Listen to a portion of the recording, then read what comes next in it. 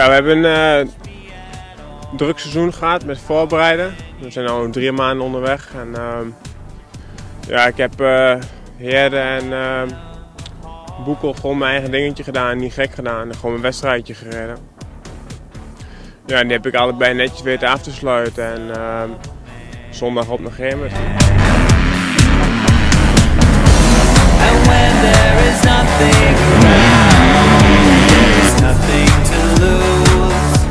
De beslissing was voor mij wel redelijk moeilijk om te nemen van nou 4,5 rijden of 3,5. Uiteindelijk werd de knop doorgehakt en dan gingen we een 3,5 verder. En uh, besloten om uh, wat meer Husqvarna te gaan doen. Daar ben ik erg blij mee met de ondersteuning wat we nu hebben. Ja, ik heb eigenlijk tot nu toe uh, alles ik kan en kruinen geregeld aan met het hele team. En ja, ik ben erg blij mee en tevreden.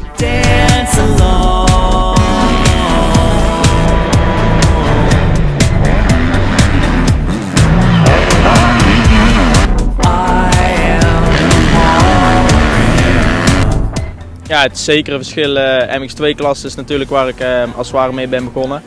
Met de viertakt. En uh, daar heb ik drie jaar in gereden. En ja, daar heb ik ook niet echt kunnen laten zien wat ik in me had. mede door blessures. En ja, nu rijd ik MX1 en ja, is iets heel anders. een stuk meer vermogen in de motor zelf natuurlijk. Hele andere rijders en ja, een hele verandering voor mij.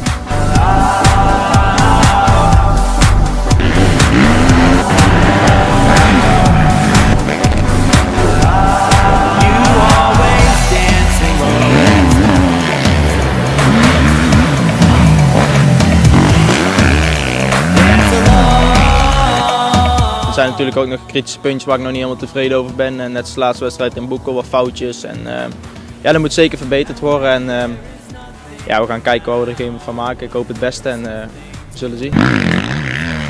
Je kunt beter gewoon van wedstrijd tot wedstrijd bekijken en kijken waar je eruit haalt. En gewoon constant proberen te scoren.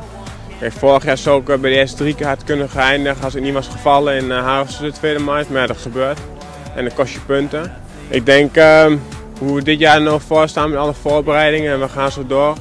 ja, dat ik wel uh, een leuke prestatie kan neerzetten.